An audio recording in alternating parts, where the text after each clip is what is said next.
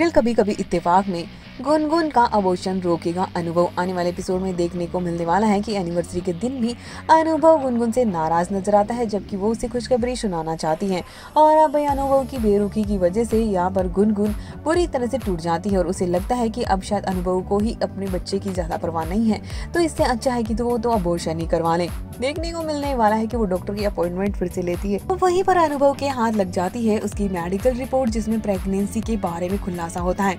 अब भाई, यहाँ पर जैसे अनुभव घर वालों को बताता है, और घर वालों को यहाँ पर होश उड़ जाते हैं और देखने को मिलता है कि उसने डॉक्टर की अपॉइंटमेंट ली है और इसीलिए अनुभव भाग कर डॉक्टर के यहाँ पर पहुँचता है क्लिनिक और वहीं पर हॉस्पिटल में ही गुनगुन को ऑपरेशन थिएटर में ले जाया जा रहा होता है। लेकिन अनुभव बीच रास्ते में उसे रोकते नज़र आएगा और अब इस अबोशन को रोकेगा और गुनगुन से माफ़ी मांगेगा और जल्द ही इन दोनों के बीच में प्यारे सी बच्ची की एंट्री होगी।